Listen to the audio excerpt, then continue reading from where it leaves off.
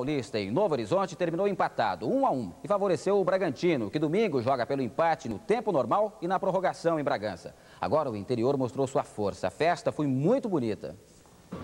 Hoje se diz assim, eu conheço Novo Horizonte, Catanduva não.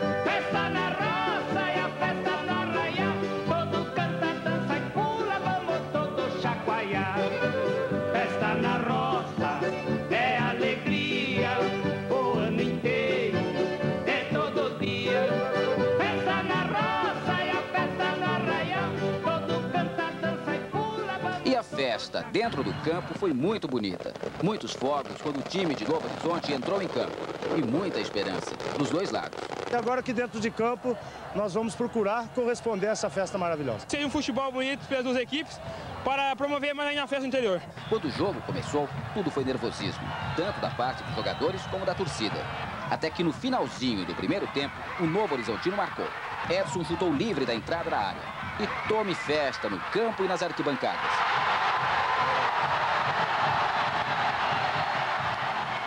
No intervalo, o novo técnico da seleção brasileira, Paulo Roberto Falcão, mostrava muita satisfação com os dois times e explicava a toda hora que os dois melhores times de São Paulo tinham chegado à final.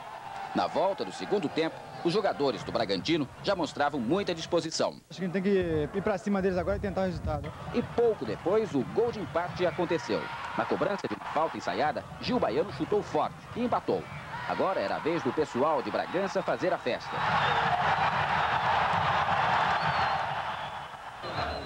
No fim, o empate favoreceu o Bragantino, que joga domingo em casa. Mas o técnico Vanderlei Luxemburgo nem por isso demonstrou otimismo. Eu acho que o Bragantino está equilibrado emocionalmente para a, a decisão. Não, tranquilo não dá, nosso time é um time bom, equivalente ao nosso. Temos que ter bastante brilho, com bastante luta, bastante humildade, para que em Bragança possamos vencê-los e levantar essa taça, que vai ser importante para a nossa carreira. E aqui termina o Telejornal São Paulo. Uma boa noite.